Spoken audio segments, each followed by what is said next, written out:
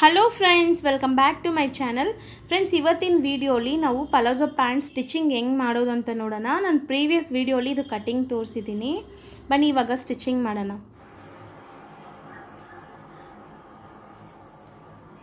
ನೋಡಿ, ಈ ರೀತಿ ಓಪನ್ ಮಾಡಿಕೊಂಡು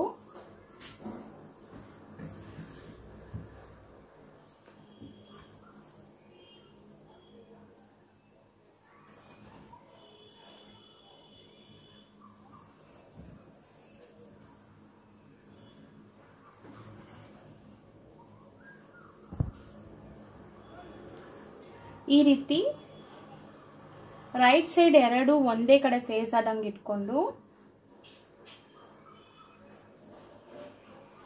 ನಮಗೆ ರೈಟ್ ಸೈಡ್ ಎರಡು ನೋಡಿ ಒಳಗಡೆ ಇದೆ. ಈ ಸೈಡ್ ಇರೋದು ನಮಗೆ ರಾಂಗ್ ಸೈಡ್ ಇದೆ, ಈ ಸೈಡ್ ಇರೋದು ರಾಂಗ್ ಸೈಡ್ ಇದೆ. ಈ ರೀತಿ ನೀವು ಫೇಸ್ ಮಾಡಿ ಇಟ್ಕೋಬೇಕು. ಈ ಇಟ್ಕೊಂಡು ಈ ಕ್ರಚ್ ಏರಿಯಾನ ನಾವು ಸ್ಟಿಚ್ ಮಾಡಿಬಿಡ್ಬೇಕು ಫಸ್ಟ್ ಇದನ್ನ ಸೀಟ್ ಅಂತಲೂ ಕರೀತಾರೆ. ಕ್ರಚ್ ಏರಿಯಾ ಅಂತಲೂ ಕರೀತಾರೆ. ಈ ಕ್ರಚ್ ಪಾರ್ಟ್ನ ಬಂದ್ಬಿಟ್ಟು ಇವಾಗ ನಾವು ಇಲ್ಲಿ ಸ್ಟಿಚ್ ಮಾಡಿಬಿಡ್ಬೇಕು. ಅದೇ ರೀತಿ ಎರಡು ಸೈಡ್ನು ನಾವು ಸ್ಟಿಚ್ ಮಾಡಬೇಕು. ಸ್ಟಿಚ್ ಮಾಡುವಾಗ ನಾವು ಎರಡೆರಡು ಸ್ಟಿಚ್ ಹಾಕೋಬೇಕು. ಡಬಲ್ ಸ್ಟಿಚ್ ಹಾಕಬೇಕು ಈ ಜಾಗಕ್ಕೆ. ಒಂದು ಹಾಫ್ ಇಂಚ್ ಗ್ಯಾಪಲ್ಲಿ ಆ ಸ್ಟಿಚಸ್ ಹಾಕೋಬೇಕು ನಾವು. ಫ್ರೆಂಡ್ಸ್ ಈ ಕ್ರೌಚ್ ಪಾರ್ಟ್ ಏನಿದೆ, ಅದು ಬಂದ್ಬಿಟ್ಟು ಚಿಕ್ಕ ಮಕ್ಳಿಗಾದರೆ ನಾವು ಟುವೆಲ್ ಟು ತರ್ಟೀನ್ ಇಂಚಸ್ ಕ್ರೌಚ್ಗೆ ಕೊಡೋವಂಥ ಅಲವೆನ್ಸ್ ಕೊಡಬೇಕು. ದೊಡ್ಡವ್ರಿಗೆ ಹೊಲಿತಾ ಇದ್ದೀವಿ ಅಂದರೆ ನಾವು ಎಸ್ ಎಲ್ ಎಕ್ಸ್ ಎಲ್ ಆ ಥರ ಹೊಲಿಯುವಾಗ fourteen and half to fifteen inches ಈ ಕ್ರೌಚ್ ಏರಿಯಾಗೆ ನಾವು ಮೆಷರ್ಮೆಂಟ್ಸ್ ತಗೋಬೇಕು. ಆ ರೀತಿ ತಗೊಂಡ್ರೆ ನಿಮಗೆ ಕಂಫರ್ಟ್ ಸಿಗತ್ತೆ. ಇಲ್ಲ ಅಂದರೆ ಟೈಟ್ ಆಗತ್ತೆ ನಿಮಗೆ.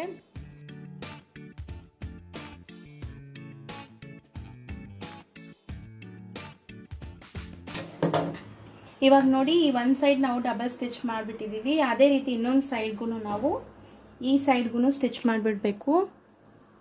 ಈ ಕ್ರಚ್ ಪಾರ್ಟ್ನು ನಾವು ಜಾಯಿಂಟ್ ಮಾಡಿಬಿಡೋಣ.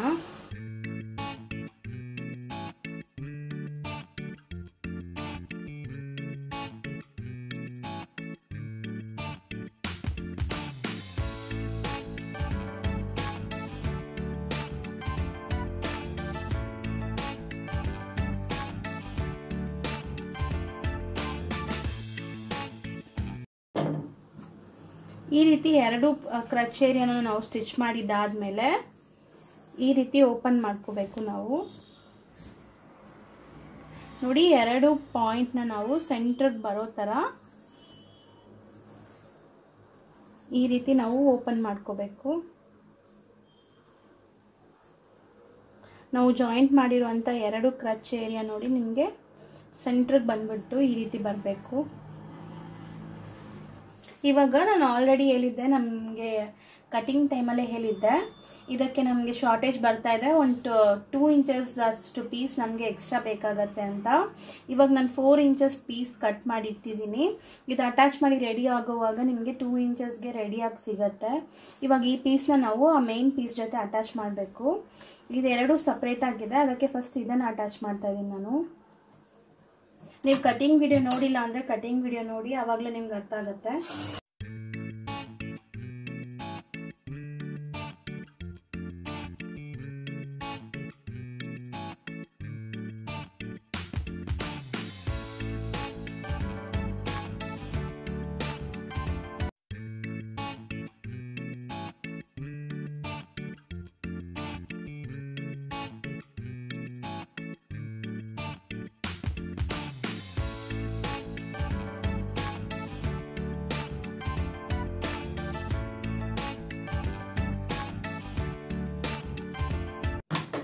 ನೋಡಿ ಫ್ರೆಂಡ್ಸ್ ಇವಾಗ ನಾವು ಈ ಎರಡು ಸೈಡ್ನ ಅಟ್ಯಾಚ್ ಮಾಡಿಬಿಟ್ಟಿದ್ದೀವಿ ಇವಾಗ ನಿಮಗೆ ಒಂದು ಸರ್ಕಲ್ ಥರ ಇರುತ್ತೆ. ಯಾವುದೇ ಯಾವುದೇ ಕಡೆ ನಿಮಗೆ ಓಪನ್ ಇಲ್ಲ. ನೋಡಿ ಈ ರೀತಿ ಸರ್ಕಲ್ ಸಿಗತ್ತೆ ನಿಮಗೆ. ಎರಡು ಸೈಡ್ ಜಾಯಿಂಟ್ ಮಾಡಿ ಈ ಪೀಸ್ನ ಹಿಂಗೆ ರೆಡಿ ಮಾಡ್ಕೊಂಡಿದ್ದೀವಿ. ಇವಾಗ ಈ ಪೀಸ್ನ ನಾವು ಪ್ಯಾಂಟ್ಗೆ ಅಟ್ಯಾಚ್ ಮಾಡಬೇಕು.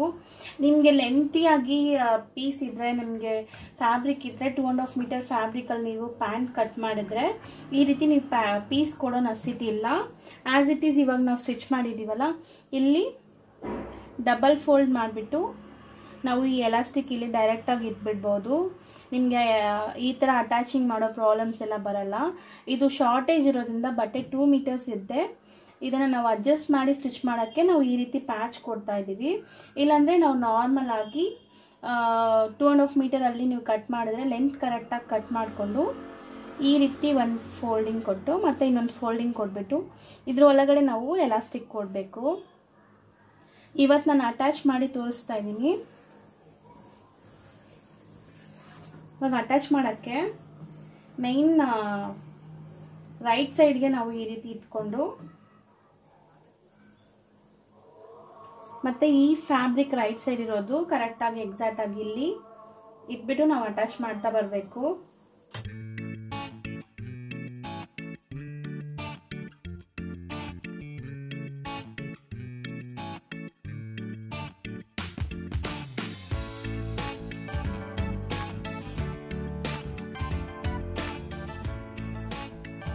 ಕರೆಕ್ಟಾಗಿ ನಮಗೆ ಕಟಿಂಗ್ ಕರೆಕ್ಟಾಗಿದೆ. ಈ ಪೀಸ್ನ ನಾವು ಕರೆಕ್ಟಾಗಿ ಮೆಷರ್ಮೆಂಟ್ ತಗೊಂಡು ಕಟ್ ಮಾಡಿದ್ದೀವಿ. ನಿಮಗೆ ನೀಟಾಗಿ ಎಕ್ಸಾಕ್ಟಾಗಿ ಬಂದಿದೆ ನೋಡಿ. ಇಲ್ಲಿ ಬಟ್ಟೆ ಯಾವುದು ಜಾಸ್ತಿ ಕಡಿಮೆ ಇಲ್ಲ. ಈ ರೀತಿ ಬರಬೇಕು ನಮಗೆ.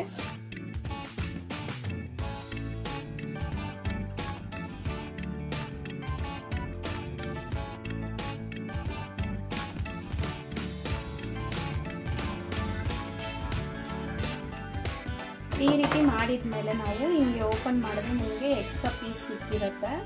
ನೋಡಿ ಫ್ರೆಂಡ್ಸ್, ಇವಾಗ ನಾವು ಜಾಯಿಂಟ್ ಮಾಡಿಬಿಟ್ಟಿದ್ದೀವಿ ಈ ರೀತಿ ನಮಗೆ ಎಕ್ಸ್ಟೆನ್ಷನ್ ಸಿಕ್, ಸಿಕ್ಕಿದೆ. ಬಟ್ಟೆ ನಾವು ಜಾಯಿಂಟ್ ಮಾಡಿರೋದು ಈ ರೀತಿ ಇದೆ. ನಾವು ಜಾಯಿಂಟ್ ಮಾಡಿರೋ ಥರ ಇದು ಗೊತ್ತಾಗೋದೇ ಇಲ್ಲ ನಮಗೆ. ನಾವು ಫಿನಿಶಿಂಗ್ ಮಾಡಿ ಆದಮೇಲೆ ನಿಮ್ಗೆ ತೋರಿಸ್ತೀನಿ ನಾನು. ಬಟ್ಟೆ ಶಾರ್ಟೇಜ್ ಬಂದರೆ ಈ ರೀತಿ ಎಕ್ಸ್ಟ್ರಾ ಬಟ್ಟೆ ಕೊಟ್ಟು ಸ್ಟಿಚ್ ಮಾಡ್ಕೊಳ್ಳಿ. ನಿಮ್ಮ ಹತ್ರ ಬಟ್ಟೆ ಎಕ್ಸ್ಟ್ರಾ ಇದ್ದರೆ ಲೆಂತಲ್ಲಿ ನೀವು ಆ್ಯಸ್ ಇಟ್ ಈಸ್ ಹಂಗೆ ಇಟ್ಕೊಂಡು ಸ್ಟಿಚ್ ಮಾಡಿಬಿಡ್ಬೋದು, ಯಾವುದೇ ರೀತಿ ಪ್ರಾಬ್ಲಮ್ ಬರಲ್ಲ. ಇವಾಗ ಇದನ್ನು ಹೆಂಗೆ ಫಿನಿಶಿಂಗ್ ಮಾಡ್ತೀವಿ, ಹೆಂಗೆ ನಾವು ಇದಕ್ಕೆ ಎಲಾಸ್ಟಿಕ್ ಕೊಡ್ತೀವಿ ಅಂತ ಇವಾಗ ತೋರಿಸ್ತೀನಿ ನೋಡಿ. ಈ ರೀತಿ ಒಂದು ಹಾಫ್ ಇಂಚ್ಗೆ ಫೋಲ್ಡ್ ಮಾಡಿಕೊಂಡು ಎಕ್ಸಾಕ್ಟಾಗಿ ನಾವು ಎಲ್ಲಿ ಸ್ಟಿಚ್ ಮಾಡಿರ್ತೀವೋ ಆ ಸ್ಟಿಚ್ ಹತ್ರ ಇಟ್ಕೊಂಡು ಫುಲ್ ನಾವು ರೌಂಡು ಸ್ಟಿಚ್ ಮಾಡಿಬಿಡ್ಬೇಕು.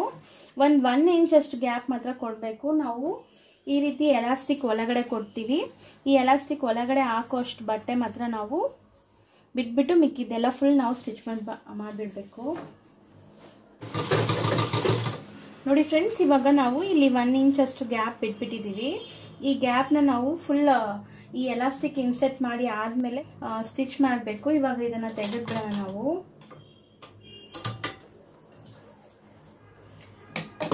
ನೋಡಿ ಈ ರೀತಿ ಗ್ಯಾಪ್ ಇದ್ರೇ ನಮಗೆ ಈ ಎಲಾಸ್ಟಿಕ್ ಒಳಗಡೆ ಇನ್ಸೆಟ್ ಮಾಡೋಕ್ಕಾಗತ್ತೆ. ಅದಕ್ಕೆ ಈ ರೀತಿ ಗ್ಯಾಪ್ ಕೊಟ್ಟಿದ್ದೀನಿ. ಇವಾಗ ಒಂದು ಸೇಫ್ಟಿ ಪಿನ್ ತಗೊಂಡು ನಾವು ನಾರ್ಮಲ್ ಆಗಿ ಇದನ್ನೆಲ್ಲ ಹೆಂಗೆ ಇನ್ಸೆಟ್ ಮಾಡ್ತೀವೋ ಅದೇ ರೀತಿ ಒಳಗಡೆ ಫುಲ್ ನೀಟಾಗಿ ಇನ್ಸೆಟ್ ಮಾಡಿಬಿಟ್ಟು ಆಮೇಲೆ ಇದನ್ನು ಹೆಂಗೆ ಸ್ಟಿಚ್ ಮಾಡಬೇಕು ಅಂತ ನಿಮ್ಗೆ ತೋರಿಸ್ತೀನಿ. ಇವಾಗ ಎಲಾಸ್ಟಿಕ್ ನಾವು ಯಾವ ಮೆಷರ್ಮೆಂಟಲ್ಲಿ ಕಟ್ ಮಾಡ್ಕೋಬೇಕು ಅಂತ ನಿಮ್ಗೆ ಹೇಳ್ತೀನಿ ನಾನು. ನೋಡಿ ಫ್ರೆಂಡ್ಸ್ ಇವಾಗ ನಾವು ಈ ಎಲಾಸ್ಟಿಕ್ ಯಾವ ರೀತಿ ಕಟ್ ಮಾಡ್ಕೋಬೇಕು ಅಂತ ನಿಮಗೆ ಡೌಟ್ ಇರುತ್ತೆ. ನಾವು ವೇಸ್ಟ್ ಮೆಜರ್ಮೆಂಟ್ ಎಷ್ಟಿದೆ ಅಷ್ಟು ನಾವು ಎಲಾಸ್ಟಿಕ್ ಇಡಬಾರ್ದು.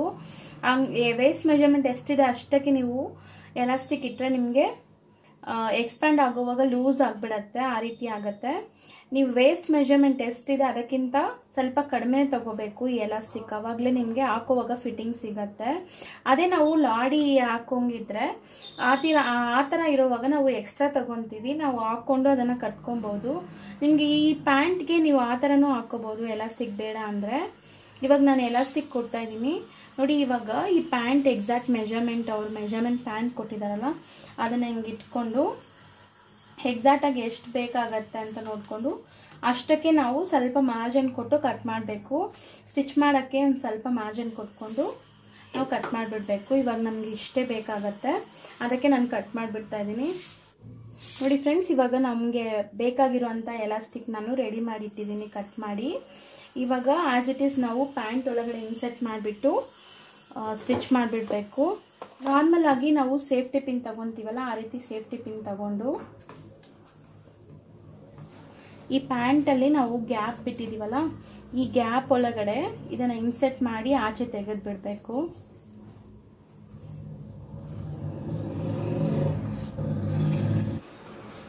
ನೋಡಿ ಫ್ರೆಂಡ್ಸ್ ಇವಾಗ ಒನ್ಸ್ ನಾವು ಈ ರೀತಿ ಎಲಾಸ್ಟಿಕ್ನ ಆಚೆ ತೆಗೆದ್ಬಿಟ್ಮೇಲೆ, ನೀವು ನೀಟಾಗಿ ಪ್ಯಾಂಟ್ನ ಒಂದ್ಸರಿ ಅಡ್ಜಸ್ಟ್ ಮಾಡಿಕೊಂಡು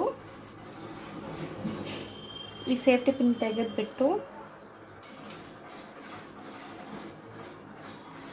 ಇವಾಗ ಈ ಎರಡು ಸೈಡ್ನ ನಾವು ಹಿಂಗೆ ಒಂದರ ಮೇಲೆ ಒಂದು ಇಟ್ಕೊಂಡು ಸ್ಟಿಚ್ ಹಾಕಬೇಕು. ತುಂಬ ಸ್ಟ್ರಾಂಗಾಗಿ ಹಾಕಬೇಕು. ನಾವು ಇದನ್ನು ಬಂದುಬಿಟ್ಟು ಒಂದು ನಾಲ್ಕೈದು ಸ್ಟಿಚ್ ಹಾಕಬೇಕು. ಆವಾಗಲೇ ಬಿಚ್ಚೋಗ್ದಿರ ಇರುತ್ತೆ. ಇವಾಗ ಇದನ್ನು ಸ್ಟಿಚ್ ಮಾಡಿಬಿಡೋಣ ನಾವು. ಈ ರೀತಿ ಚೆನ್ನಾಗಿ ನಾವು ಸ್ಟಿಚಿಂಗ್ ಮಾಡಿ ಆದಮೇಲೆ ಇದನ್ನು ನಾರ್ಮಲ್ ಆಗಿ ಒಳಗಡೆ ಇನ್ಸರ್ಟ್ ಮಾಡಿಬಿಡ್ಬೇಕು ನೋಡಿ ಫ್ರೆಂಡ್ಸ್ ಇವಾಗ ನಾವು ಸ್ಟಿಚ್ ಮಾಡಿದ್ದ ಆಗಿದ್ಮೇಲೆ ನೀಟಾಗಿ ಇದನ್ನು ಒಳಗಡೆ ಇನ್ಸರ್ಟ್ ಮಾಡಿಬಿಟ್ಟು ನಾವು ಸ್ಟಿಚ್ ಮಾಡ್ದಿರ ಒಂದು ಗ್ಯಾಪ್ ಕೊಟ್ಟಿದ್ವಲ್ಲ, ಇದು ಇನ್ಸರ್ಟ್ ಮಾಡೋಕ್ಕೆ, ಅದನ್ನು ಸ್ಟಿಚ್ ಮಾಡಿಬಿಡೋಣ. ಅದಾದಮೇಲೆ ನೆಕ್ಸ್ಟ್ ಸ್ಟೆಪ್ ಏನಂತ ತೋರಿಸ್ತೀನಿ ನಿಮಗೆ.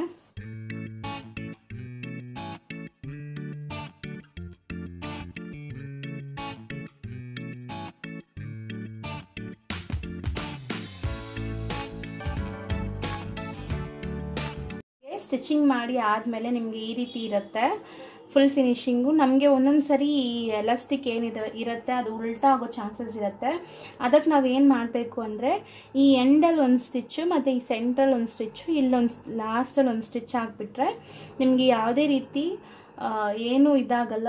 ಡಿಸ್ಕಂಫರ್ಟ್ ಇರಲ್ಲ ಕಂಫರ್ಟ್ ಆಗಿರುತ್ತೆ ಹಾಕೊಳ್ಳೋವಾಗಲೂ ನಿಮಗೆ. ಯಾವುದೇ ರೀತಿ ಪ್ರಾಬ್ಲಮ್ ಬರಲ್ಲ.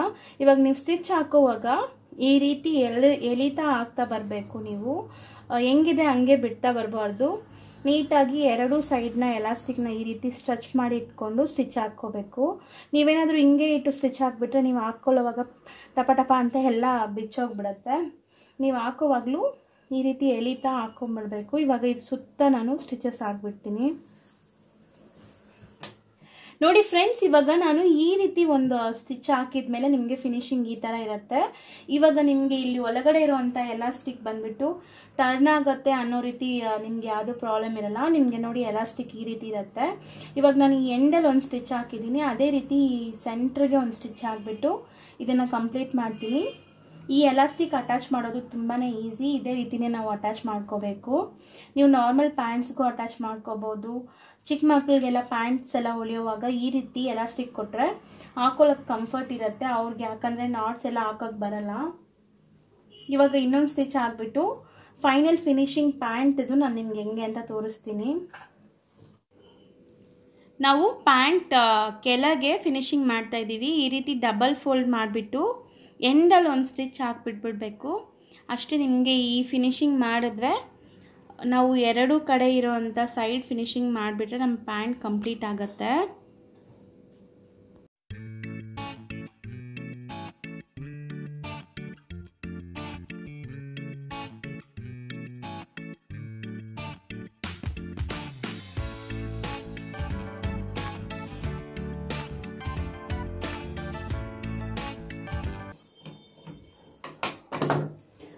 ನೋಡಿ, ಈ ರೀತಿ ನಾವು ಫಿನಿಶಿಂಗ್ ಮಾಡಿ ಆದಮೇಲೆ ಇವಾಗ ನಾವು ಈ ಸೆಂಟರ್ ಪಾರ್ಟ್ ಏನಿದೆ ನಾವು ನೋಡಿ, ಇವಾಗ ಇದನ್ನು ಜಾಯಿಂಟ್ ಮಾಡಿಬಿಟ್ರೆ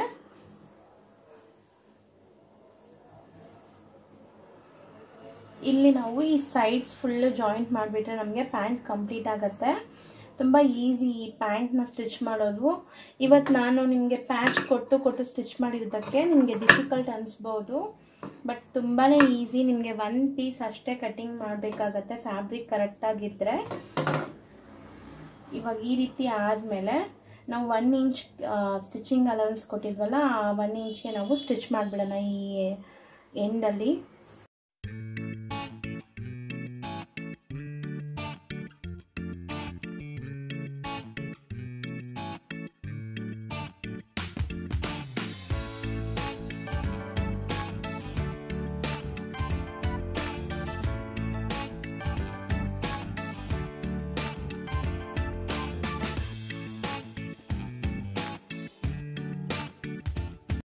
ನೋಡಿ ಫ್ರೆಂಡ್ಸ್ ನೀವು ಕಟಿಂಗ್ ಕರೆಕ್ಟಾಗಿ ಮಾಡಿದ್ರೆ ನಿಮಗೆ ಈ ಎರಡು ಕ್ರೌಚ್ ಪಾರ್ಟ್ ಎರಡು ಒಂದೇ ಕಡೆಗೆ ಇಲ್ಲಿ ಕರೆಕ್ಟಾಗಿ ಬರುತ್ತೆ. ನಾವು ಕಟ್ ಮಾಡಿರೋಂಥ ಕ್ರೌಚ್ ಪಾರ್ಟ್ ಇದೆಲ್ಲ, ಅದು ಬಂದ್ಬಿಟ್ಟು ಇಲ್ಲಿ ನೋಡಿ ಎಕ್ಸಾಕ್ಟ್ ಆಗಿ ಸೆಂಟ್ರಿಗೆ ಹಿಂಗೆ ಮೀಟ್ ಆಗಬೇಕು. ಎರಡು ಒಂದೇ ಕಡೆ ಫೇಸ್ ಆದಂಗೆ ಹಿಂಗೆ ಇಟ್ಕೊಂಡು ಸ್ಟಿಚ್ ಮಾಡಿಬಿಡೋಣ.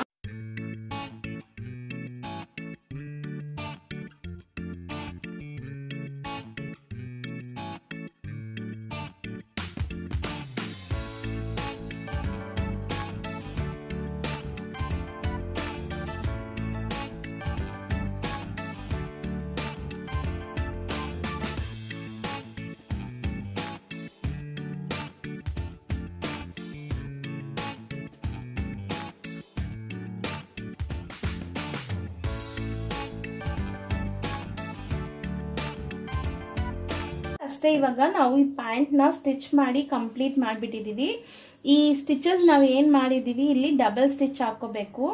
ಅವಾಗಲೇ ನಿಮಗೆ ಸ್ಟಿಚಸ್ ಬಂದು ಬಿಚ್ಚೋಗುತ್ತೆ ಅನ್ನೋ ಭಯ ಇರಲ್ಲ. ಯಾವಾಗಲೂ ಪ್ಯಾಂಟ್ ಎಲ್ಲ ನಾವು ಸ್ಟಿಚ್ ಮಾಡೋವಾಗ ಡಬಲ್ ಸ್ಟಿಚ್ ಹಾಕಬೇಕು. ಇವಾಗ ನಾನು ಇದಕ್ಕೆ ಡಬಲ್ ಸ್ಟಿಚ್ ಹಾಕ್ಬಿಟ್ಟು ಕಂಪ್ಲೀಟ್ ಮಾಡಿಬಿಡ್ತೀನಿ.